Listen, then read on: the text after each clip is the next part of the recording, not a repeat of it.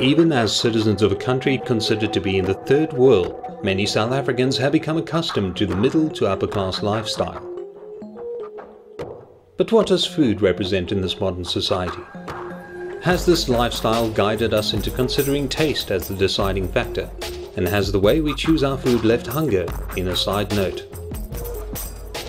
Gluttony is universally understood as a simple overindulgence of food and drink.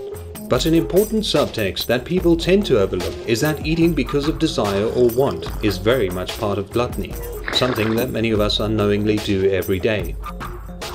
For middle to upper class citizens, the abundance of available food and endless range has never been this varied. And with convenience stores all over the suburbs, it has never been this easy to come by. For those who can afford it, the question needs to be asked if food is chosen or prepared after hunger and need, or if taste, novelty, or fashion is the guiding factor. Junk food is consumed in vast quantities. It is fast, it is available, and it tastes great. The drinks we consume as part of our social behavior are not chosen for their nutritional value, but due to taste or peer preference. The dangers of overconsumption, be the drinks alcoholic or not, are routinely ignored.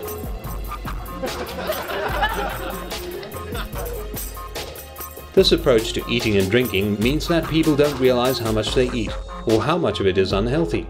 They often don't realize what they eat is completely over and above the requirements of their bodies to keep functioning. But after all the unhealthy habits and misunderstanding of food we see or experience each day, there is no standard we can put on the line between needs and gluttony. And so we shouldn't all start eating dry grass in an attempt to abstain from gluttony. Perhaps just a thoughtful pause while loading our trolleys in the confectionery aisle is enough to save our souls.